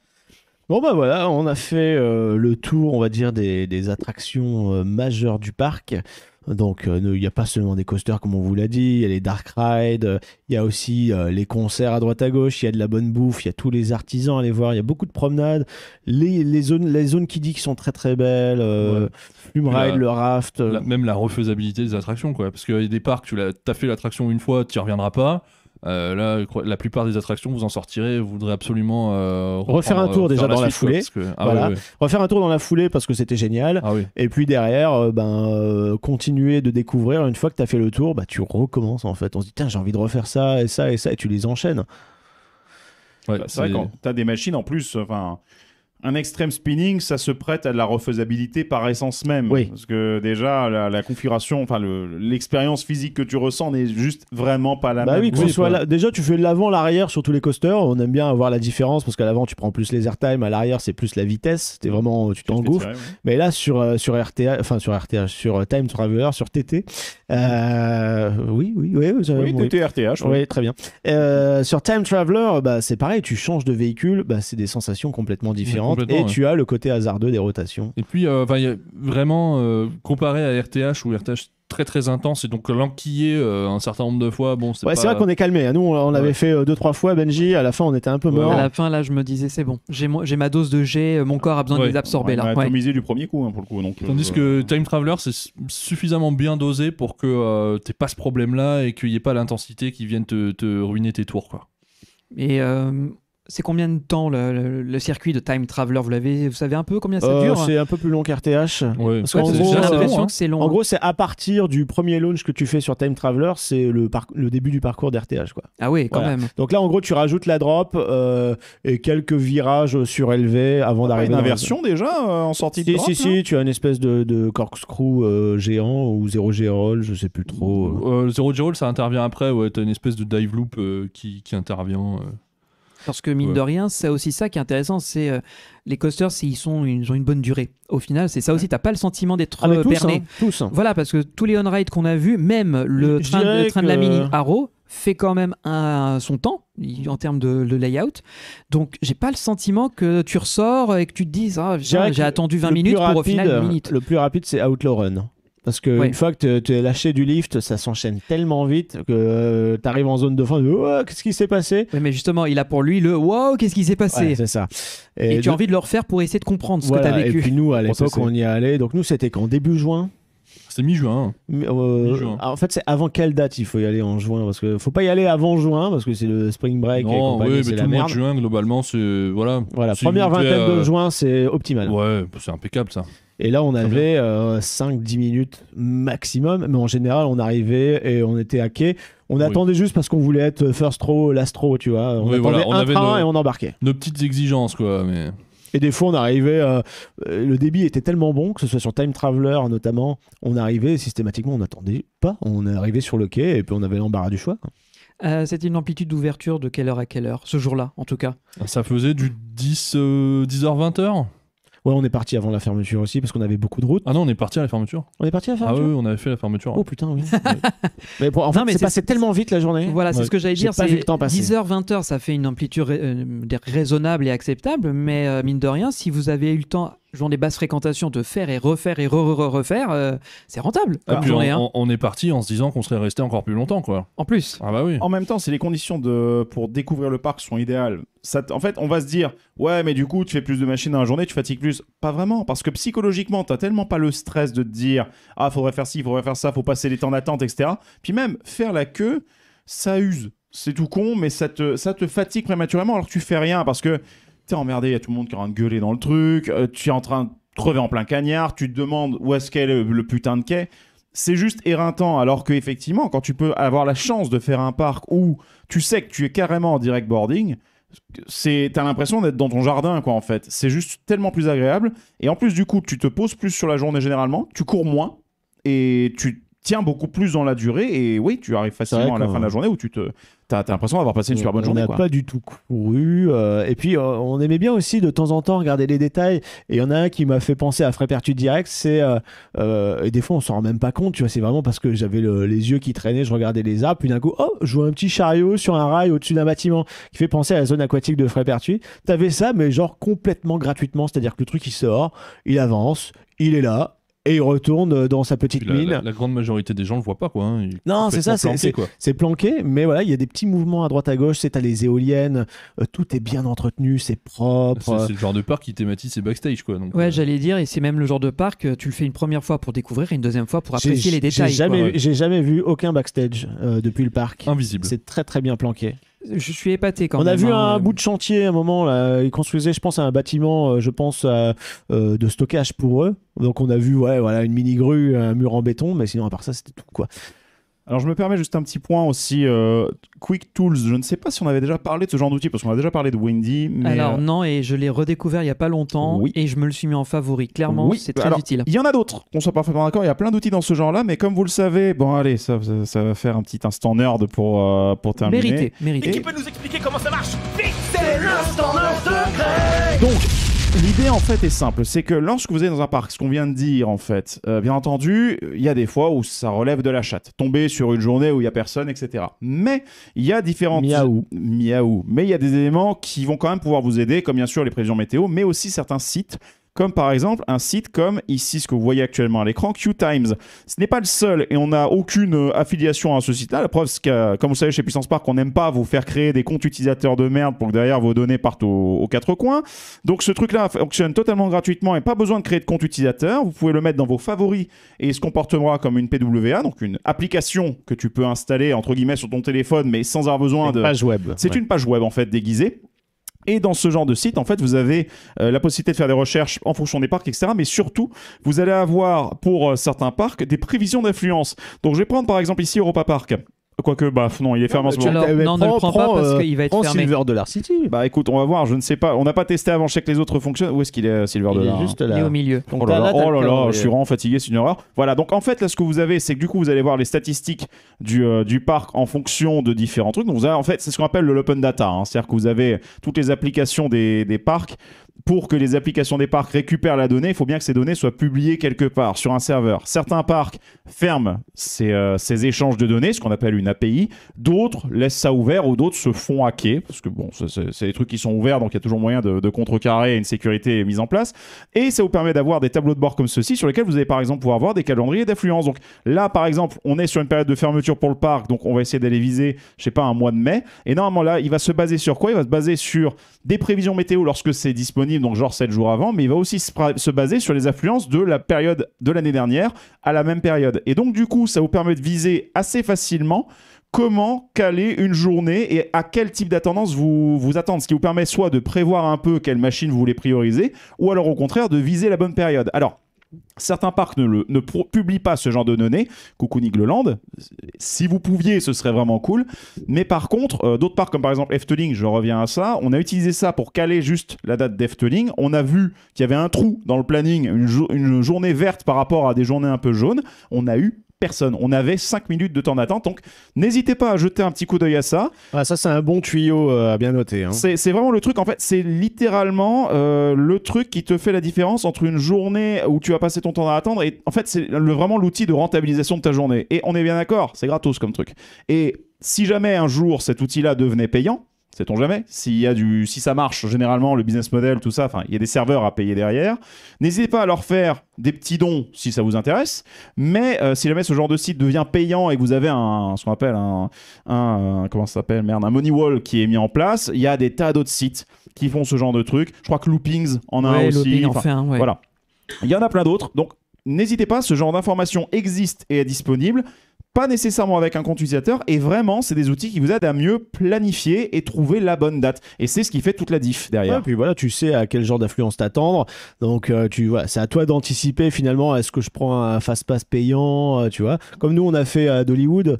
Des fois, on le faisait euh, parce qu'on voyait de la foule, mais si on était mieux renseigné, on se serait dit peut-être que voilà. Mais bon, vu qu'on n'y va pas tous les jours non plus aux États-Unis, Oui. que ce soit Archepac ou Dollywood où il y a énormément de crédits, où il y a énormément de monde, euh, sur les journées où, euh, qu'on avait prévenu, on, savait, si tu veux, donc on avait pris ça. Et c'est vrai que là, ça permet d'avoir, voilà, bon, il y a une marge d'erreur évidemment, hein, ce sont que des statistiques. Euh, après, à vérifier aussi s'il n'y a pas des vacances scolaires de votre côté, mais normalement, tout ça le compile automatiquement. Et c'est vrai que c'est un bon repère pour aller euh, au bon moment dans les parcs. quoi. Je vais en profiter juste aussi pour vous montrer, tant qu'on y est, hein, une deuxième fonctionnalité intéressante, parce que là, c'est plutôt pour de la planification, puis vu qu'on a un peu de temps sur cet épisode, j'en profite aussi pour, euh, voilà. Non, je cherche, voilà, je cherche simplement Efteling parce que lui est ouvert, donc je sais que le, le parc est disponible. Hop, voilà. Si je vous affiche le truc, là, vous voyez que vous avez les statistiques dans jour à jour, mais quand vous avez prévu quand vous avez trouvé la bonne date, après, ce qui est intéressant, c'est comment tu optimises le jour même. À quel moment venir faire certaines attractions, par exemple. Et donc, du coup, là-dedans, vous avez les temps d'attente qui sont fournis en direct, mais surtout quand vous tapez sur un ride, et ça, il n'y a pas que QTums qui le fait, il vous donne également des statistiques d'affluence en fonction des heures, ce qui vous permet de savoir à peu près à quel moment venir pour optimiser. Alors, bien entendu, ne vous attendez pas à ce que. il peut y avoir un jour où tu as une machine à côté qui est tombée en panne, donc tu as un report de capa qui se fait, ça peut arriver, mais au moins, ça peut vous aider sans micromanager, parce que ça saoule tout le monde. Le fait de prévoir, dire à 18h, je fais tel truc. Ouais, et puis bon, Voilà. comme avoir l'application sous les yeux tout le temps, euh, Voilà. Disney. hein. Mais au moins, genre, repérer les deux, trois machines, vraiment les, les hits. Et ça, ça vous permet de vous dire, ok, mieux vaut le faire à ce moment-là ou à tel autre moment. Et là, derrière, vous faites du remplissage. Et au moins comme ça, ça vous permet donc de sécuriser dans certains cas. Vous n'êtes pas à l'abri d'une panne, bien entendu, ça c'est des statistiques. Mais euh, voilà, et derrière, en plus, vous pouvez avoir même des statistiques intéressantes sur la fiabilité des machines. Euh, alors là, c'est quoi que j'ai pris pour le coup? C'est Max Moritz qui apparemment Moritz, est ouais. pas, pas folle en, Les sept derniers jours, c'est tombé pas mal en panne. hein. Putain, on a trouvé un truc pire qu'un Intamin, les mecs. Mais, euh, gros- mais grosso modo, voilà. Non, l'idée, grosso modo, c'est que voilà, ce sont des outils. Ah, mais là, qui ils sont en existent période encore. d'hivernage. Oui, aussi, euh, les machines sont un peu stressées, Ouais. mais, mais grosso modo, encore une fois, sachez que ces outils-là peuvent vous aider aussi sur le jour même de la, de la visite d'un parc. Quand vous connaissez pas les trucs qu'on connaît entre, euh, enfin, quand on a un peu plus de- d'habitude là-dedans, c'est un, bon, oui. voilà, c'est un bon moyen pour avoir des stats et pour mieux planifier et mieux gérer votre visite, bien En- sûr. En, l'occurrence, nous, c'était euh, Windy, le, radar CT que j'avais sur mon téléphone. Quand on a été dans un parc d'attractions, du coup, c'était Williamsburg euh, Busch Gardens. Ouais. Et on- en fait, on- il y avait de l'orage. Et on, moi, j'ai j'ai vu qu'en gros, ouais, on est niqué pour le reste de la journée, c'est sûr. Parce qu'on voyait justement le- Voilà, cellule, ouais. euh, la grosse cellule orageuse qui arrive euh, droit sur la gueule. Et ça s'est confirmé dans la demi-heure où le parc a fait des annonces en mode bah, en fait, euh, aucune attraction peut opérer, on ferme le parc plus tôt. Quoi. Parce que ce sera comme ça toute la soirée. Même on l'a déjà utilisé aussi à Fantasyland de notre road trip de Oui, à 2021. Wally il y avait l'orage aussi. Alerte foudre, on savait qu'il y avait une alerte foudre qui allait C'est tomber. super utile tous Et ces puis outils. on a fait une attraction Dark Ride, on a anticipé les, les mouvements de foule. Ouais, c'était génial. Voilà, donc n'hésitez pas encore une fois. Et comme je le répète une dernière fois, il n'y a pas besoin d'installer des applications pour ça. Il n'y a pas besoin de créer des comptes utilisateurs pour ça. Il y a des outils qui existent directement et qui vous permettent, du coup de, de- d'avoir ce genre de truc et d'optimiser un petit peu au jour J. Voilà. Très bon outil. Bon, Très bah bon voilà, nous, on a fini notre tour de Silver Dollar tout Et, encore, on a zappé un truc que Ah, toi, on oui. s'en est rendu compte à la Tu vois sortie en fait. On l'a, on, on l'a failli le zapper dans le podcast comme dans la réalité, c'est fou. Non, non, non, j'allais y revenir. Ah bon, j'ai peur. C'est bon, il y avait le professionnalisme. Jusqu'au Bon, bout. va, alors. Alors, il s'agit de euh, d'un truc complètement caché euh, qui s'appelle la Marvel Cave. Euh, Marvel euh, comme Marvel, hein, coucou Disney. Euh, C'est sombre dedans aussi? Alors c'est sombre dedans. oui. Ah, c'est une car- caverne merveilleuse. Quoi. Oui, ah oui, c'est la caverne merveilleuse. Oui, Alors- Marvel en, en anglais, c'est Parce qu'on est dans une zone quand même à la géologie euh, assez particulière. hein. Oui, tout à fait. Et donc, alors, cette Marvel Cave qui est euh, un petit peu euh, difficile d'accès dans le sens où ça saute pas aux yeux que l'entrée est là, puisque l'entrée elle-même est complètement cachée euh, à travers un petit décor où vous devez vous mettre quasiment à quatre pattes pour pouvoir, pouvoir y accéder. Et en fait, il s'agit d'un truc qu'il faut absolument voir a priori quand on va à Silver Dollar City. C'est une des plus grandes salles souterraines des États-Unis, parce que c'est une énorme grotte de 62 mètres sous plafond. Euh, avec une visite qui dure à peu près une heure et à qui apparemment vaut vraiment, vraiment, vraiment le coup d'œil. C'est sublime. Et c'est inclus dans le billet d'entrée. Et c'est inclus dans le billet d'entrée. Sympa. En plus, si t'as envie, si t'es sur une journée un petit peu chaude, t'as envie de te, te rafraîchir un peu, ça va être Ah pas bah, mal. c'est l'idéal. C'est l'idéal. Bah, je pense que du coup le site du parc a été choisi plus ou moins pour ça aussi, tu vois. Euh, ils ont fait le combo à la fois euh, voilà visite touristique et finalement euh, ludique. Dans le business model de base, bon, bah, au pire, il y a ça. Voilà. Oh, on a une caverne de la mort juste en dessous. Ouais, mais Mais c'est suffisamment planqué pour que nous, on s'en rende compte uniquement à la fin de la journée quand on était dans la, dans la boutique pour acheter notre merch. Parce qu'on voyait des photos en fait, les photos Eh du oui. tour et la sortie en fait de la, la caverne que tu fais par euh, euh, comment ça s'appelle un Alors, funiculaire. Voilà, une fois que t'es- t'as descendu, donc euh, t'es descendu au fond de la grotte, tu remontes, parce a 100 mètres de dénivelé quand même, tu remontes en funiculaire. Voilà, histoire de, de te. Voilà, que les jambes n'en peinent pas trop. euh. Ouais, donc leur euh, funiculaire euh, pour transporter des Américains costauds, faut que le câble il soit solide quoi. Ah bah oui. Donc là, euh, Bah oui. on compte sur euh, les industriels américains pour euh, fabriquer des câbles bien, bien résistants. Là, ça a été mis à l'épreuve. Mais c'est du, c'est c'est limite. Enfin, il y a tellement de parcs américains qui ont des accès qui se font par un funiculaire ou qui se font par un câble, un, un câble car foireux, enfin un truc comme ça. C'est Télésiège, téléphérique. Oui, c'est ça. Ils aiment Ouais. bien, ils aiment bien les, les accès un peu spéciaux. Moi, je trouve ça cool. Ça donne un cachet. Ça, isole un peu du reste du, monde, quoi, avec le parc. Mais là, effectivement, bon, ça, en ouais, ça peut être sympathique à faire comme truc.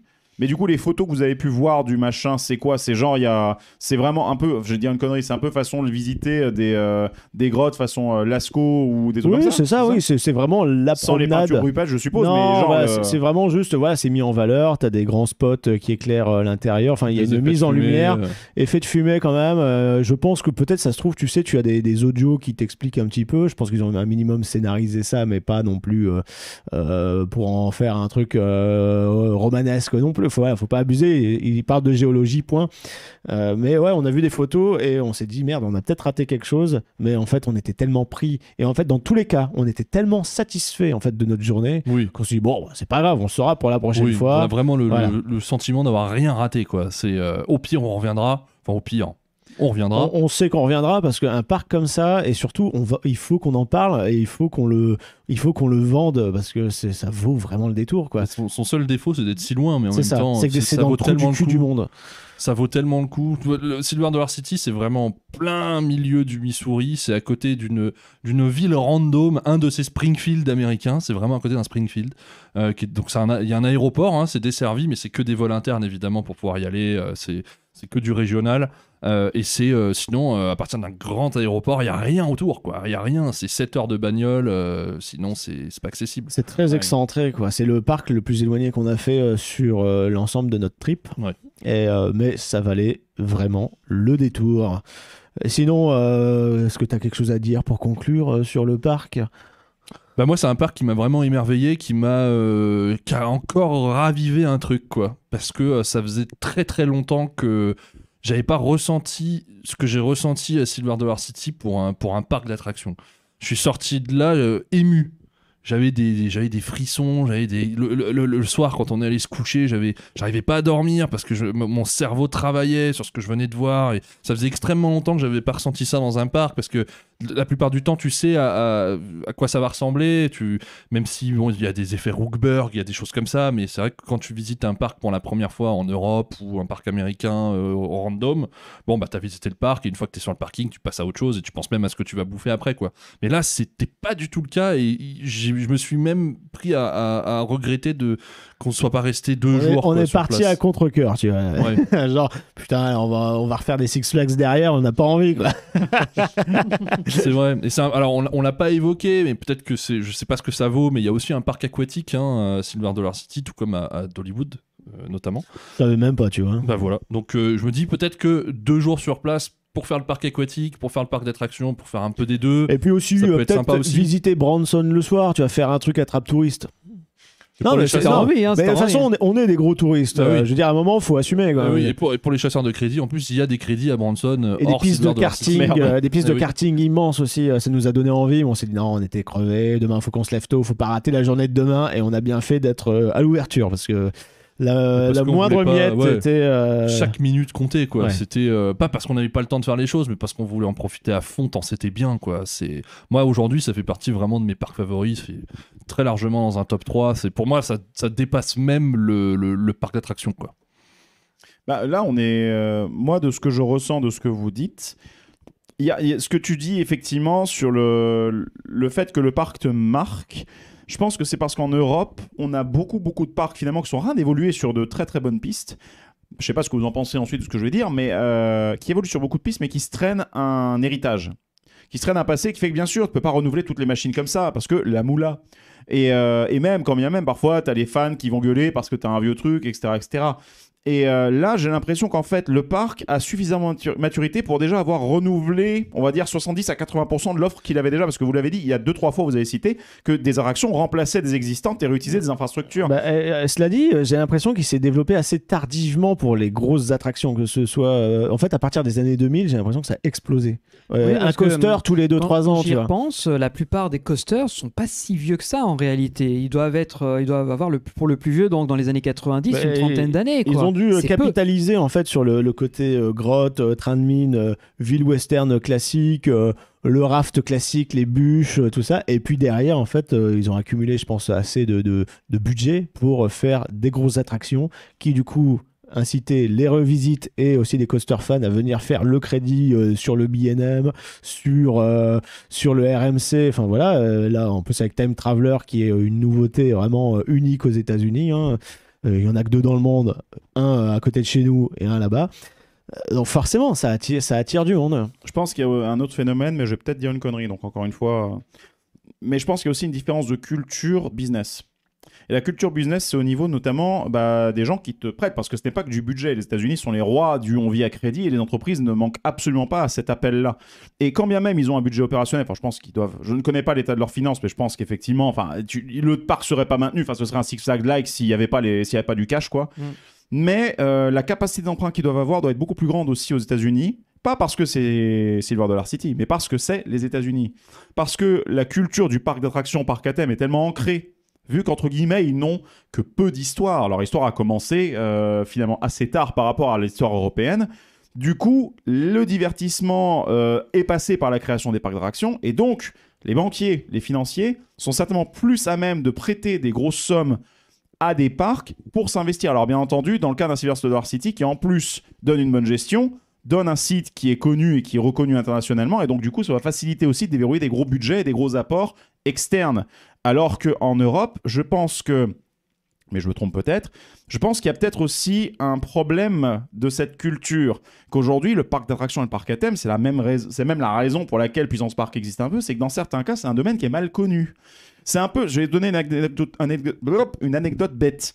Euh, mon père m'a toujours raconté un truc. Quand il cherchait à, à ouvrir un compte euh, dans la ville où on est, où on est né, etc., où je, je suis né, il, avait euh, discuté avec les directeurs de banque et à l'époque où ça s'est fait, euh, les gars avaient également des propositions d'ouvrir un business d'un entrepreneur local qui veut ouvrir un restaurant. Pas n'importe quel restaurant, parmi les premiers McDo de France. Sauf qu'à l'époque, les banquiers voyaient ça comme étant un risque total. Ils disaient, bah, c'est de la malbouffe, euh, ça, va, ça marche aux États-Unis, mais est-ce que ça va marcher en France? Ils n'ont pas investi dedans. Finalement, c'est une autre banque qui a dit, ok, vas-y, on va financer un peu. Aujourd'hui, le mec a 4 ou 5 restaurants en son nom, un truc comme ça, et en gros, il a réussi. Il a... Et aujourd'hui, les directeurs de banque se disent, putain, c'est peut-être la plus grosse connerie qu'on ait fait de pas accorder. Et je pense, peut-être, si des directeurs ou des personnes qui bossent dans les parcs nous écoutent, veulent en parler un peu, on est partant justement pour en discuter. Mais je pense qu'il y a peut-être encore, à l'heure actuelle, même si ça se déverrouille avec le temps, je pense qu'il y a encore un peu une méfiance de ces secteurs un peu euh, traditionnels financiers qui voient ça comme étant une sorte de divertissement. Enfin, quand tu vois des parcs aujourd'hui, le parc d'attractions qui existe encore beaucoup en France par rapport au parc à thème, où là on est sur un parc à thème, des attractions Ah oui, là, clairement. travaillées, Mhm. une storyline, une déco évoluée, du prototype, des- une, une offre qualitative quoi sur le truc, pas juste on fout une pomme et on appelle ça un ride. Donc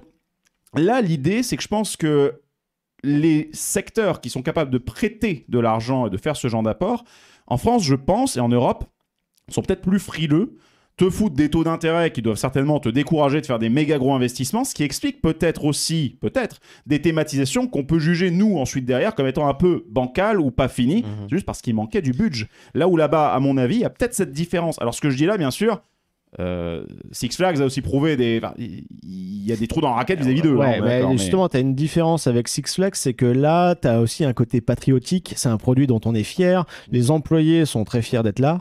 Euh, on l'a vu chez tout le monde. hein. Il y a personne euh, qui, était, qui avait l'air blasé en fait euh, sur l'ensemble des opérateurs. J'ai l'impression que tout le monde prend soin en fait de ce petit bijou, de ce petit écrin là. Et, après, moi, comment dire, il a un peu bouleversé mon top de ce que j'appelle ma liste des plus beaux parcs du monde où il y a Tokyo Disney Sea, voilà, en haut. Et je me dis, j'ai passé, j'ai eu la claque un peu comme Doob, dans le sens où, waouh, j'ai vraiment eu une expérience différente de tout le reste. C'est arrivé à Tokyo Disney Sea et c'est arrivé dans ce parc aussi. Alors, par contre, il faut euh, garder les choses, euh, euh, mettre les choses un peu dans leur contexte et à leur propre échelle. C'est-à-dire qu'à Tokyo Disney on a quand même des budgets faramineux, on a des, des constructions aussi qui sont pharaoniques, que ce soit le volcan, que ce soit l'hôtel, les, décorations vraiment en pierre. Là, il faut se rendre compte quand même qu'on qu'on profite alors un peu de la géologie locale. Euh, et c'est beaucoup de matériaux de décoration qui sont faits dans un matériau simple, à savoir le bois, euh, les structures en métal, tout ça, qui suffisent. Il n'y a pas besoin de construire justement le volcan parce que sinon ce serait hors thème. Quoi. Là, on est quand même dans, du, dans de l'authentique, dans du vraiment du, de la promenade en forêt western, donc avec des moyens relativement rudimentaires, euh, pas forcément très travaillés architecturalement, sauf les zones qui sont un peu aimées, genre pompiers, exposition universelle, tout ça. Donc voilà, c'est pas les mêmes coûts, évidemment, parce que là, c'est des structures simples. Euh, mais euh, le, le thème fait que tout match colle, euh, colle plutôt bien. Euh, pareil, Time Traveler, ok, on a un bijou technologique, mais après la gare en soi, c'est un bâtiment standard, mais c'est l'intérieur et euh, les ambiances sonores, le parcours, euh, le thème qu'on te vend, la storyline qui fait justement, qui crée tout ça. Time Et l'environnement, justement, dans cette petite vallée rocailleuse entourée de, de, de pins, d'arbres typiques de la région, c'est- et en fait, finalement, voilà, c'est le l'environnement, ce décor naturel là qui participe à 50% justement à la magie du lieu. Ouais, mais tout ça, ça nécessite tout de même une forme d'entretien. Et en plus, quand tu tapes du proto, tu t'exposes à un risque euh, aussi qui est que la machine peut ne pas être fiable. Et auquel cas, tu as des coûts de maintenance et opérationnels qui vont se rajouter, voire même en plus un autre truc. Je sais pas quelles sont les politiques des fabricants à ce, sujet-là, parce qu'il peut en avoir deux. Soit un Mac te sort un proto en disant bah, il faut qu'on le cale, qu'on ait un produit sur étagère, donc on fait un discount pour qu'un parc nous l'achète, compte tenu des, euh, des problèmes peut-être techniques qu'il peut y avoir derrière. Ou au contraire, est-ce qu'ils te font payer peut-être le prix de la, de la primeur de l'exclusivité? Je ne sais pas comment ça se passe, mais clairement, ça a un impact je pense, aussi. je ça. pense qu'au contraire, euh, c'est là que tu as des offres intéressantes parce que ça permet à la fois aux, aux fabricants de faire sa pub, un peu comme euh, les motos magiques à Toverland, tu vois, c'était le premier euh, concept. Là, je pense que Mac, bah, il y a eu un compromis, je pense, entre le prix que ça vaut avec la recherche et le développement, qui, je pense, ont plus fait payer ça à un Plopsaland derrière qui dit Oh, ce truc-là, il m'a plu à Silver Dollar City, parce que ça, c'est leur vitrine aussi. C'est leur vitrine du constructeur, en tout cas pour ce modèle-là. Peut-être. C'est ouais. quand même, c'est quand Comme même pour sacrée, RMC euh, aussi. Hein. c'est quand Regarde. même une sacrée prise de risque parce que euh, Oui. Time Traveler, c'est euh, 26 millions de dollars l'enveloppe. hein. Donc pour un prototype, c'est quand même extrêmement élevé. quoi. Bah ouais, puis le- sans, compter, sans compter que c'est un coaster sur lequel, as, tu l'as dit, peu de bâtiments. On est sur. En fait, c'est. Je vais pas dire que c'est que du métal, euh, t'as les frais de BTP, tout le bordel, mais je veux dire, par rapport à un, à un Plopsaland qui a deux bâtiments, qui a toute une zone qui a été créée pour l'occasion, etc., plus de la musique embarquée, qui a- enfin, il y a quand même l'équipe de Hans Zimmer derrière, ça a pas dû être gratos comme truc. Et je, je pense qu'il y a, il y a- Et La licence aussi à payer. la licence Tomorrowland. Enfin, là, quand tu vois le prix des t-shirts, tu te doutes ouais. bien que Plopsaland va pas l'avoir gratos non plus. 70 boules. Voilà, donc euh, c'est des frais, ça c'est des coûts reportés, ça. Mais euh, c'est des coûts qu'on reporte au, au- au client final. Mais en soi, je me dis, si le truc là a coûté 26 millions, j'aurais tendance à dire que, alors bon, le track est plus long, enfin bref, il y a, il y a plein de choses, mais ouais, grosso modo, je pense qu'il y a aussi quand même cette histoire de culture business qui doit pas mal jouer, qui doit expliquer ensuite derrière, bah, par impact, hein, par effet ricochet, euh, comment ça se fait que nous, les parcs européens, pour l'instant, soient un peu en retard. Par contre, moi, ce que je vois là-dedans, ce que je trouve de super cool, c'est que là, on voit un parc euh, qui, à mes yeux, même si je ne le, même si je ne le, je ne le, hop là, on va l'afficher là, voilà, bien vu. Euh, même si je ne je, prévois pas d'y aller tout de suite parce que bah il y a beaucoup de voilà hein, c'est pas à Il côté faut aller aux States, quoi. euh, parce que le pognon, voilà. hein. Mais euh, il s'avère que ce parc-là, moi, je vois que c'est un. En fait, c'est un petit bond temporel dans ce que les parcs européens pourraient devenir d'ici 10-15 ans. Quand ils auront terminé un peu leur. Quand ils seront à 80% de leur cycle de renouvellement de réaction. En plus, maintenant qu'on a la notion de théma qui arrive pile maintenant, là, enfin, depuis, on va dire 4-5 ans quand même dans des parcs, où ils commencent à vraiment la mettre en avant, à travailler même une toute petite storyline, une déco, un truc pour essayer d'habiller une tour de métal. Je pense qu'en fait, là, ce qu'on voit, les États-Unis ont très souvent, en termes de business, euh, pas tout le temps, mais très souvent, été en avance de phase sur l'Europe. Sur plein de choses. En, en technologie, c'est souvent le cas. En termes de consommation, etc. Et je pense que là, peut-être que ce que l'on voit là, c'est peut-être ce que. Alors, je dis un truc euh, comme ça, c'est un pari pour l'avenir, mais peut-être qu'un frais pertuis d'ici 15-20 ans Ah ouais, c'est le but. sera effectivement que- de ce- de d'un calibre. euh, pas, Euh, ils feront pas la même chose, mais ils, feront- ils auront peut-être d'un calibre ils similaire. ils peuvent pas parce qu'ils n'ont pas la même surface, ils n'ont pas les mêmes moyens, ils n'ont pas aussi le même nombre de, de- de touristes aussi qui, qui viennent chez eux. Cela dit, c'est euh, le- c'est un parc qui les fait rêver, ils s'en cachent pas, et ils s'en inspirent justement pour avoir ce, ce côté très authentique, feel good, et qui fasse profiter à la fois les adultes comme les plus jeunes, enfin toute la famille quoi. Et Là, c'est enfin, Silver Dollar City, typiquement, c'est un de ces parcs qui te fait comprendre que la localisation, c'est pas nécessairement un problème pour attirer les gens. Mm. Il suffit d'avoir l'aura pour attirer les gens, parce que c'est tellement paumé au milieu de rien que euh, tu peux pas te dire oui, mais c'est euh, c'est à côté d'Atlanta, c'est les gens d'Atlanta qui, qui font la- le nombre de visiteurs annuels. Non, Non. c'est des gens qui font la démarche de se déplacer jusqu'au parc, et croyez-moi que c'est pas si simple que ça. Donc la localisation n'est pas nécessairement un problème, mais à partir du moment où tu es suffisamment qualitatif pour que les gens se donnent la peine de venir jusqu'à toi, c'est que tu as tout gagné quoi. De toute euh, façon, l'argument de la localisation ne marche plus, dans le sens où déjà, Silver Dollar City est un bon exemple, mais Nigloland, Frépertuis City et, Jean et consorts Et sont dans la Europa- pampa. Et Europa, Bien sûr. putain de parc. Faire le pari d'ouvrir un truc à Rust. Voilà, on le sait maintenant. Désolé, mais c'était. Non, mais si, si, si. T'as vu où Ouais, c'est Et t'as vu ce que c'est devenu Encore que Europa Park bénéficie d'une autoroute, qui est pas très loin. Là, je te parle d'un parc comme Frépertuis City qui a Oui. comme une seule accès, c'est une départementale Oui, dans la Cela faune. dit, cela dit, on est aux États-Unis, euh, des grosses autoroutes, il y en a partout. hein, donc euh, Ouais, ça, c'est pas un problème. La route, Toute elle est vraiment optimisée. C'est dans la euh, culture. ouais, la, dans la bagnole est culture. dans Ouais, la culture. Toute échelle conservée pour l'Europe, L'argument de dire je suis dans un parc perdu au milieu de la pampa ne marche pas. Et un dernier exemple, c'est le Puy du Fou. Je suis désolé. Oui. Plus perdu que ça au milieu, entre une vieille ruine oubliée Mais du sa monde. réputation fait venir. euh, C'est la réputation du parc. Maintenant, on est dans une ère des médias. Les, les médias digitaux font que euh, un parc peut littéralement s'effondrer ou de euh, gagner en réputation grâce à des, bonnes, des bons investissements. La preuve avec Silver Dollar City qu'on encense depuis deux épisodes. Donc, euh, pour moi, il y a ça. Il y a une dernière chose parce qu'après, je pense qu'on pourra arriver tranquillement à la conclusion.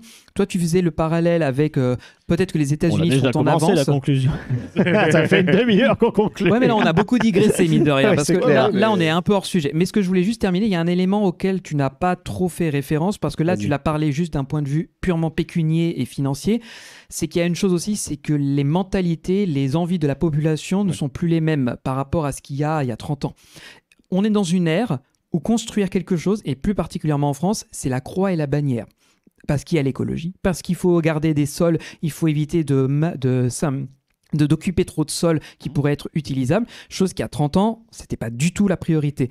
Et aux États-Unis, ils ont pas du tout cette vision-là de l'écologie. Ils s'en fichent complètement. Faut voir euh, tout ce qu'ils font encore aujourd'hui qui paraît aberrant pour nous Européens, auquel on nous rabâche en nous disant Ouais. baissez la température, faites gaffe à Ah, l'utilisation de l'énergie. je suppose qu'il fonctionne pas avec un moteur. euh, Bah, voilà, voilà. Ça va être un bon gros Et- diesel. Et, et euh, contrairement à ce que, euh, aux difficultés que nous, par exemple, les parcs d'attractions euh, se se battent avec les municipalités pour gratter du terrain. Même Efteling galère, Fantasyland. alors que- Fantasyland, quelle, alors- quelle alors horreur, que les malheureux. oui. Aux États-Unis, il y a vraiment cette reconnaissance de OK, c'est vrai que c'est un lieu qui est devenu culte, qui est très très beau, qui attire du monde.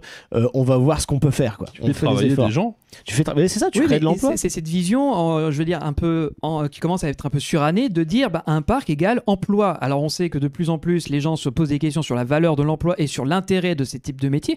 Mais l'argument numéro un, quand un parc veut se développer, il va dire à ses administra- à l'administration et aux habitants autour, nous, on est juste votre premier employeur local, hein, je vous le rappelle. Donc Ah si vous nous empêchez que- de grossir, Ouais. ils peuvent pas délocaliser, c'est un peu compliqué, mais ils peuvent dire nous, on va pas grossir. Et au bout d'un moment, on va stagner, peut-être même qu'on va finir par disparaître. Oui, parce que Donc même ça un peut faire réfléchir. Parc, même un petit parc, le nombre de personnes qui vont être employées, euh, ça va être au minimum de la centaine. Ça va monter facilement dans les milliers de personnes et d'emplois indirects qui vont être générés autour. Par hein. exemple, Nick Le- là, qui est en train de recruter, c'est 460 emplois qui sont prévus pour la saison. Il y, en a, une, il y en a saison, une ouais. centaine qui sont en CDI, mais 460 quand ils vont être en pic de- d'activité. Donc ça représente un- beaucoup d'emplois. Voilà. hein.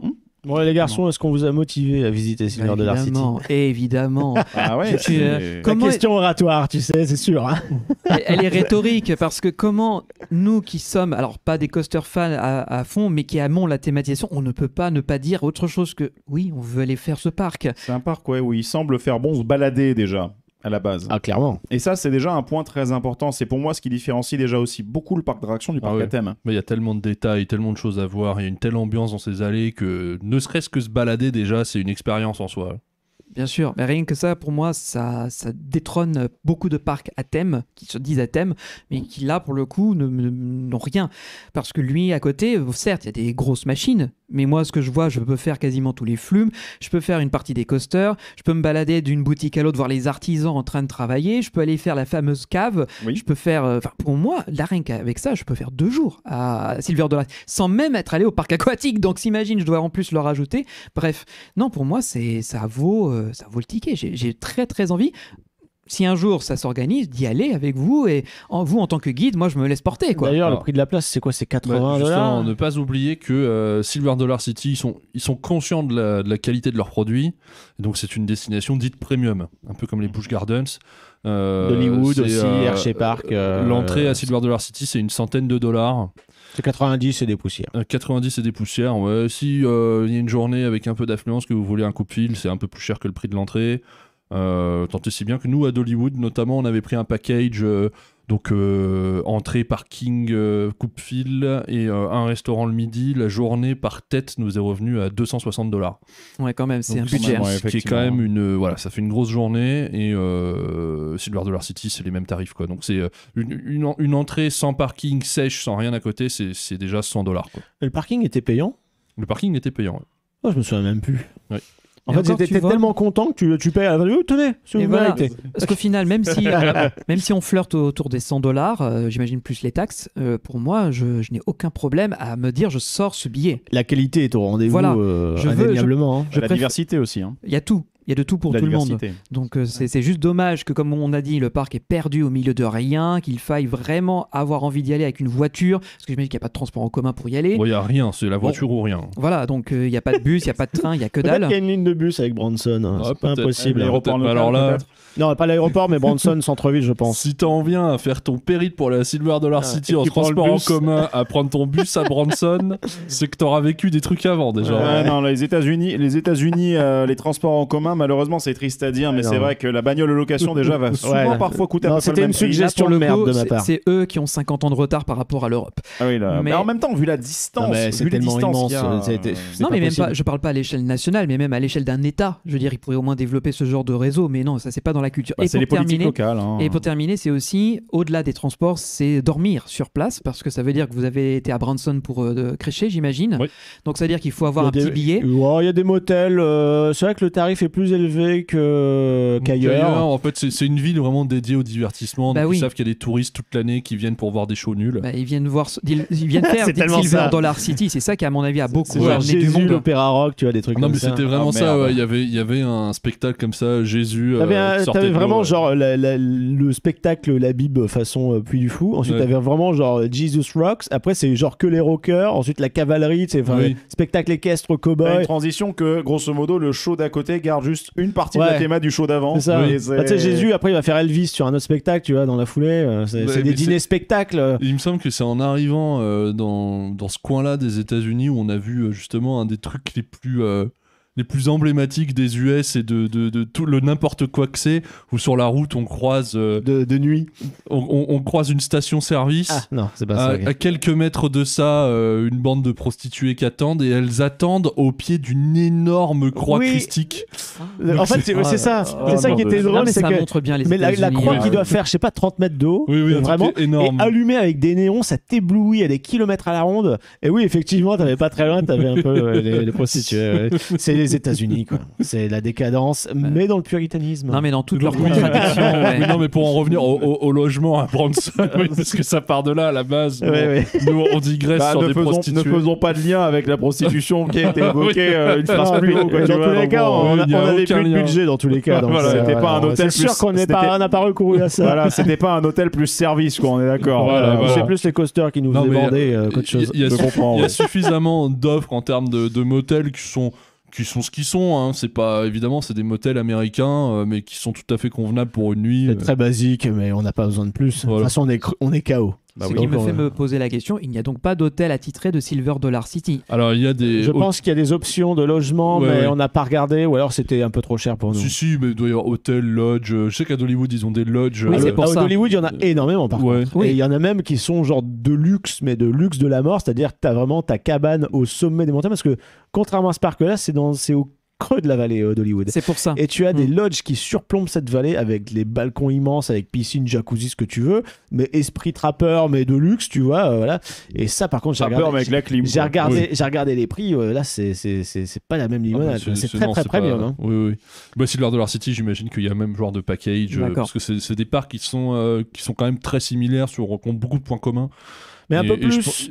Un peu dans le folklore ici que d'Hollywood où là c'est assumé que euh, voilà crachez votre argent quoi. Oui, Il y a du bling bling si tu veux un petit peu plus Bah, que là. oui, Dolly Parton, quoi. c'est- Ouais, Voilà, c'est- les paillettes quoi. Oui. Les paillettes et le, le bonnet double D.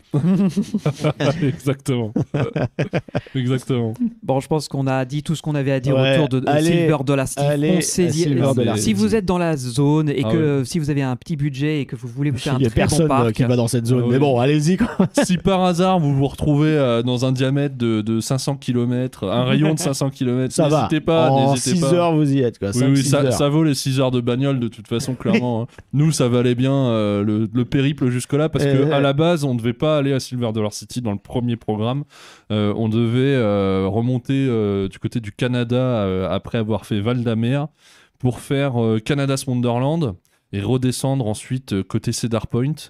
Et, euh, et donc cette journée à Canada's Wonderland, euh, bah, c'est celle qui a été par la suite dédiée à Silver Dollar City parce que Covid, parce que difficultés frontalières et, Et- parce que restons aux États-Unis, on va pas de au Canada. regret, pas de regret. Et Vraiment. on a, je pense qu'on a très très bien fait parce que certes on a laissé du crédit sur le carreau, mais par contre euh, on s'est pris un des, un des meilleurs parcs de la planète euh, dans la tronche. quoi. Et Donc, ce qui, est, ce qui a été intelligent aussi, c'est que tu as casé ça sur le trip. euh, le lendemain, c'était Kentucky Kingdom, le fameux parc euh, abandonné par euh, Six Flags, repris par la famille Hershend, et Oui. qui en gros se fait sur une demi-journée sans problème, quoi, sans forcer. heureusement parce que euh, bah, entre Saint-Louis, Six Flags Saint-Louis et, euh, et Silver Dollar City, on en a eu pour 80 bagnoles, 4-5 heures. Voilà, mais le retour, mais pour enchaîner à Kentucky, c'est 6 après, heures. et Donc après nous, on c'était a 7 fait- heures même, c'était quasiment 8 Ouais. heures. Donc on a quasiment fait, 8 on heures a de fait route. 4 heures de route euh, le soir où on a quitté Silver Dollar City.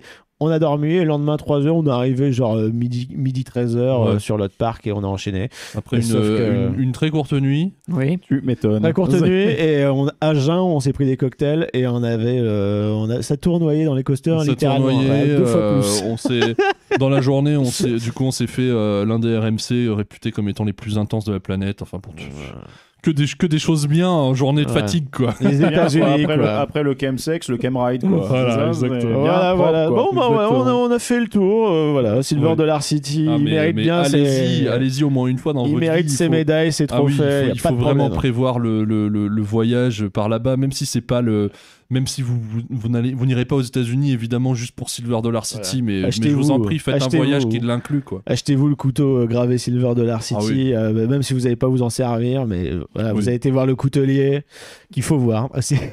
Non, bah, évidemment, on s'en fout un peu. Mais ouais, c'est aller faire la visite et puis euh, vous nous en direz des nouvelles. On est sûr que nous, on vous envoie pas faire un truc nul et voilà, c'est validé définitivement. Clairement. Sûrement. Et euh, en parlant de nous en faire des commentaires, euh, bah, s'il y a des gens dans notre communauté ou dans la tienne qui ont déjà eu la chance d'aller à Silver Dollar City, dites-le nous, parce que finalement ça reste un parc peu euh, visité par les Européens, puisqu'il faut y aller. Donc euh, vous pouvez le faire sur Facebook, Twitter et Instagram, hein, bien sûr, et rejoindre Ce notre communauté. Forçage Khalid, cette transition de forçage. C'est un métier. Ah oui, oui, oui, je vois que tu as été à The Villebrequin School of Forcing, the truc euh, sur et, les réseaux et- sociaux. et ouais, encore, j'ai pas sorti la roue du forçage. Non, d'ailleurs, il va falloir peut-être qu'on y réfléchisse, ça c'est trop du forçage. On va y réfléchir. Et aussi nous le dire sur notre Discord, parce que la communauté, c'est aussi ça, c'est échanger, c'est donner les points de vue. Donc n'hésitez pas. Et pour tout le reste, nos, ré- nos créations, que ce soit YouTube, les podcasts et notre chaîne Twitch, c'est www.puissancepark.fr. Et n'oublions pas aussi de citer les copains. Donc, euh, Doub, euh, toi, t'en parleras euh, dans quelques mois, euh, Quelques mois. sur ta chaîne YouTube, Oui. Doubik. hein, vous tapez D-O-U-B-I-C-K et vous tomberez forcément sur ces trip reports. Il y aura un lien en, en description dans tous les cas. Voilà, et Et aussi voilà. First Drop, Pierre, qui fait ses vlogs. Euh, Je pense que Silver Dollar City, ça arrivera d'ici, je pense, quelques semaines, euh, un ou deux mois. euh, parce que c'est dans l'ordre logique finalement de, notre chronologique pardon de notre voyage donc allez jeter un petit coup d'œil à ces vidéos et puis bah moi sur mon Instagram euh, Val de vous avez des stories en fait qui, qui ont été faites à chaud sur le parc qui vous permettent aussi de le découvrir avec nos yeux et et voilà, on, on espère que ça vous motive à, à faire un road trip comme ça avec des amis, de la famille, peu importe, et Bah, de si faire après ce ça, ils sont détour. pas motivés, euh, Ah bah si, si, faut. si, si, si, là, là, là, il faut. Bah déjà, il fallait de la motive pour s'enquiller les deux Voilà. épisodes d'une heure vingt, tu vois. Donc ça- Donc on vous dit à tous, see you soon, Et everybody Et merci à Ah. D'avoir été avec nous Merci pour ces beaucoup. euh, Ah oui. trois épisodes hyper bah, riches. Avec grand plaisir. Aussi Plaisir riche que la bouffe partagé. qu'on a mangé là-bas. Oh la vache, oui, c'est dire. Et aussi riche que la bouffe qu'on va se bouffer Tu es, maintenant. Oh. Ah. tu es le bienvenu quand tu veux dans nos podcasts avec grand plaisir pour parler de Plaisir. parcs américains ou européens comme Oh, tu oui. en as envie. Et effectivement, on se donne rendez-vous dans 15 jours pour un nouvel épisode de Puissance Park. Et d'ici là, portez-vous bien. Et Bye bye. à très vite. Bisous, bye bye. Ciao, bye. それがいい